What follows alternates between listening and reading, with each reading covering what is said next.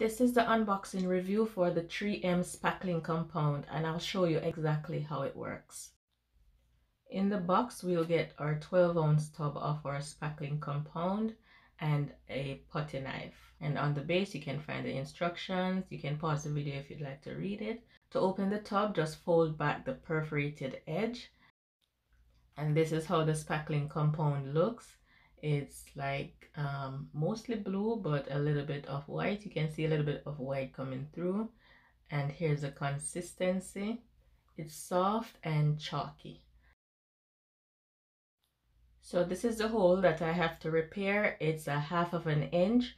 So I'm going to be using my putty knife to remove the excess debris. And I'll be using an 80 grit sanding paper just to make sure that the surface is smooth a sanding paper is not included in the package, but it's recommended. So now that the area is nice and smooth, it's time to do my repairs.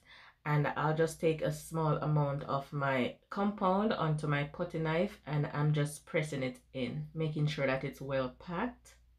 And then I'll just smooth over the area. So the compound applied blue and it will turn white when it's dry.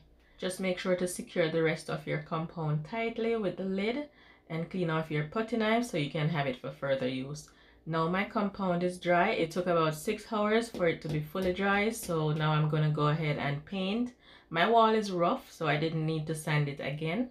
But if you have a smooth wall, you want to go ahead and smooth it out with your sanding paper before you paint it. So I was using the wrong shade of paint, so I allowed it to dry and then I went over it with the correct shade. So I allowed my paint to dry and this is where the damage was. It's hard for you to detect where it was. So I'm very impressed. The spackling compound works very well.